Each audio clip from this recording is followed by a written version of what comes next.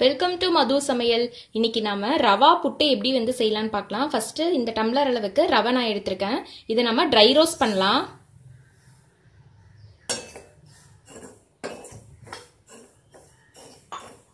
லைட்டா வாசம் வர வரைக்கும் நம்ம ரோஸ்ட் பண்ணிக்கலாம்.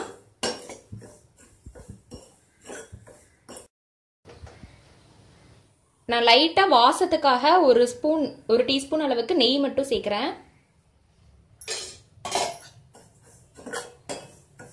ரவையை வந்து கருக விட்டுறாதீங்க. நமக்கு லைட்டாக ஒரு நல்ல ஒரு அரோமா வர வரைக்கும் நம்ம நம்ம ஒரு லைட்டாக வாசம் வர வரைக்கும் வறுத்தா போதும்.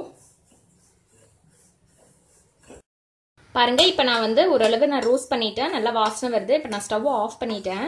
இது நாம ஒரு பவுலில் வந்து ட்ரான்ஸ்ஃபர் பண்ணலாம். ஒரு டம்ளர் அளவுக்கு தண்ணி மட்டும் நான் வந்து சூடு பண்ணுறேன் இப்போ. எல்லா தண்ணியும் நம்ம யூஸ் பண்ண போகிறதில்ல இந்த வறுத்து வச்ச ரவையில் தேவையான அளவு சால்ட் மட்டும் போட்டுக்கலாம். கொஞ்சமாக போட்டால் போதும். இப்போ தண்ணி வந்து சூடாயிருச்சு. ஃபஸ்ட்டு இந்த உப்பு வந்து நம்ம நல்லா மிக்ஸ் பண்ணி விட்டுறலாம்.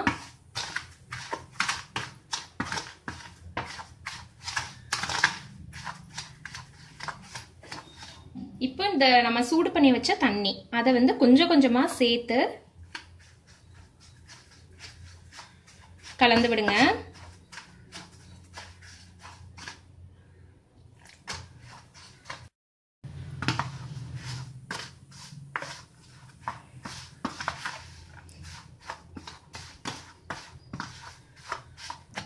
இப்போ நம்ம இதுக்கப்புறம் கையில் தான் நம்ம மிக்ஸ் பண்ணணும்.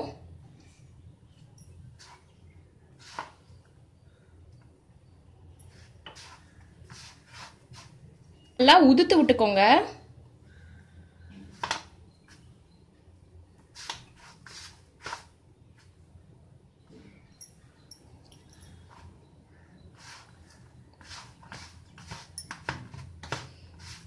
எந்த அளவுக்கு இருக்கணும்னா இந்த பிரெட் க்ரம்ஸ் வந்து இருக்கும்ல அந்த மாதிரி உதிரி உதிரியாக இருக்கணும் கட்டி இல்லாமல்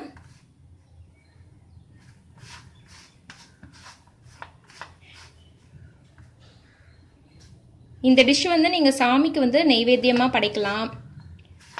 எப்போவுமே நீங்கள் அரிசி மாவு ராகி அந்த மாதிரி இதில் புட்டு பண்ணுறதுக்கு இந்த மாதிரி ரவையில் கூட நீங்கள் ட்ரை பண்ணலாம். நல்லா தான் இருக்கும் இதுவும்.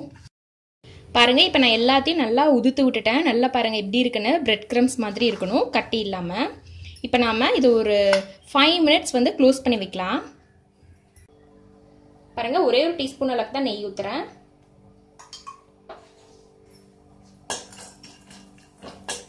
நல்லா கோல்டன் ப்ரௌன் கலர் வர வரைக்கும் நம்ம இதை ஃப்ரை பண்ணிடலாம்.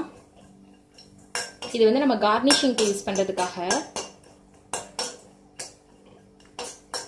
ப்ளஸ் ரிச்சாகவும் இருக்கும். இப்போ வந்து இட்லி பாத்திரத்தில் தண்ணி ஊற்றி வச்சிருங்க. இது நல்லா சூடாகட்டும். அதுக்குள்ளே நம்ம அந்த ரவை புட்டை வந்து நம்ம வச்சிடலாம் பிளேட்டில் இப்போ இட்லி தட்டை வந்து க்ரீஸ் பண்ணிக்கோங்க. எண்ணெயில் இல்லை நெய்யில். இப்போ நம்ம ஊற வச்ச இந்த ரவையை வந்து நம்ம இந்த இட்லி தட்டில் போட்டுடலாம்.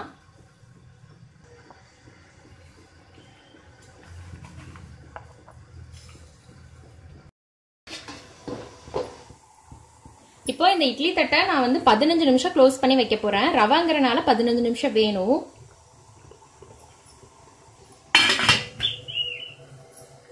இப்போ ஃபிஃப்டீன் மினிட்ஸ் ஆயிடுச்சு நான் ஆஃப் பண்ணிட்டேன். இப்போ நம்ம ஓப்பன் பண்ணி பார்க்கலாம். இப்போ நம்ம இதை ஒரு பவுலில் வந்து ட்ரான்ஸ்ஃபர் பண்ணலாம். இப்போ பாருங்க நான் வந்து ஒரு பவுலில் வந்து இந்த வெந்த ரவா வெந்த ரவையை வந்து நான் போட்டேன். இப்போ நம்ம இதில் தேங்காய் துருவல் வந்து போடலாம். ஒரு ஹாஃப் கப் அளவுக்கு தேங்காய் துருவல் போட்டாச்சு. ஒரே ஒரு பிஞ்ச் ஒரே ஒரு பிஞ்ச் வந்து ஏலக்காய் பொடி மட்டும் சேர்க்குறேன். ஃப்ளேவருக்காக அடுத்து நான் வந்து ட்ரை ஃப்ரூட்ஸ் எல்லாம் சேர்க்க போகிறேன் இது வந்து பார்த்தீங்கன்னா இது டேட்ஸு அதில் கொட்டையை எடுத்து பிச்சு பிச்சு நான் போட்டிருக்கேன். இதையும் நம்ம சேர்த்துடலாம். அடுத்து நம்ம நெய்யில் வறுத்து வச்ச முந்திரியும் திராட்சை அதையும் நம்ம சேர்த்துடலாம். இப்போ நம்ம ஸ்வீட்டுக்கு சுகர் இப்போ சேர்க்க போகிறோம்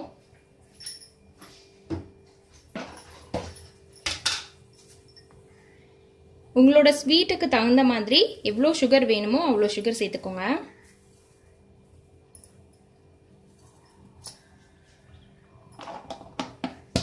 அப்படி இல்லைன்னா நீங்கள் வந்து நாட்டு சர்க்கரை கூட சேர்க்கலாம். அதுவும் நல்லா தான் இருக்கும். இப்போ நல்லா இதை நம்ம மிக்ஸ் பண்ணி விட்டுக்கோங்க. எல்லா இன்க்ரீடியன்ஸும் எல்லாத்துலேயுமே மிக்ஸ் ஆகி நல்லா இருக்கணும்.